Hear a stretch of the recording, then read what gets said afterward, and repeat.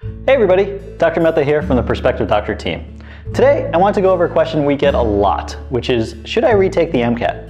Now, this is a great question with a lot of potential ramifications, so I wanted to give you three quick ideas on how to think about it. The first, what were you scoring on practice tests? I think this is the most important question you need to ask yourself. Now, if you studied your butt off and you were scoring 510s on practice test, and you came out with a 511 on your test day, you probably don't have much room to improve. But if you were scoring 520s on practice tests and then all of a sudden came out with a 510 on your test day, I would say that absolutely you should retake it. So really thinking about how you were scoring on practice tests, I think is essential in understanding if you should retake the MCAT or not. Now the next thing I often tell people is, what happened on test day? Did you freak out? Did you forget to do a section? Did you leave early?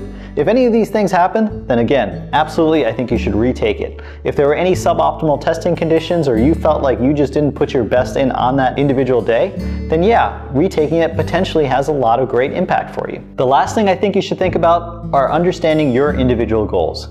Are you only interested in a top 10 MD school? Or are you okay potentially also applying to osteopathic schools? You should check out AAMC's data, which gives you a wide range of MCAT scores and where people were accepted to. Figure out what your individual goal is. If you really only wanted to get into Harvard, then yeah, if you got a 510, you absolutely have to retake the MCAT. But if you're more happy with a wider range of schools, then maybe with your GPA and your MCAT, you don't need to retake it. So these are all some important things to think about when you decide if you're going to retake the MCAT or not. Remember, if you have any questions, feel free to contact us on Facebook, Twitter, or even drop us a line on our YouTube account. We're here to help you.